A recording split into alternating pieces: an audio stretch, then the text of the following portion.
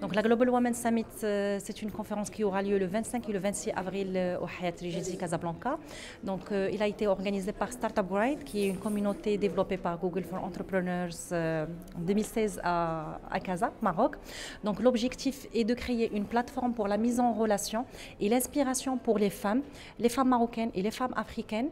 et c'est surtout pour zoomer sur l'aspect diversité genre et inclusion comme facteur d'innovation et de performance des entreprises entreprise.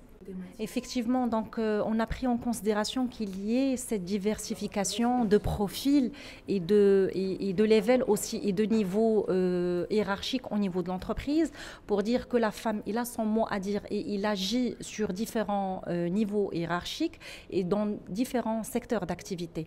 Donc l'idée, c'est que toutes les personnes qui vont venir assister à l'événement ou qui vont nous suivre en live streaming, ils vont avoir un modèle inspirant où ils puissent se voir et se projeter euh, pour qu'il pour aille en quelque sorte l'inspiration euh, pour aspirer à un, futur meilleur. Donc c'était ça l'idée. Donc on a voulu, euh, il, y a, y a, des hommes, effectivement, il y a des hommes avec nous dans le Global Women Summit. Les gens se posent, est-ce que c'est juste pour les femmes? Non, c'est aussi pour les hommes. C'est parce que si on a envie d'agir sur la partie euh, game changers, si on a envie de changer les jeux, les règles du jeu plutôt, il faut inclure avec nous les hommes qui sont dans des postes de responsabilité, des hommes aussi qui gèrent des fonds d'investissement et euh, qui sont dédiés pour les, euh, les, entreprises qui sont gérées par les femmes. Donc c'est pour ça qu'on aura la Caisse centrale de garantie avec nous. On aura aussi euh, le directeur régional Maghreb de la Banque mondiale qui ont aussi qui ont débloqué un fonds qui est dédié pour la femme maghrébine. Donc c'est pour ça qu'on a voulu que la plateforme aille toutes les composantes pour réussir et pour aider la femme entrepreneur, entrepreneur et l'entrepreneur en, général. Effectivement, alors c'est une première euh, au Maroc. Euh, donc, euh, en parallèle des conférences qui auront lieu, il y aura un espace qui, deux espaces que nous avons conçus avec nos partenaires, Launch Women Empowerment avec avec Dell.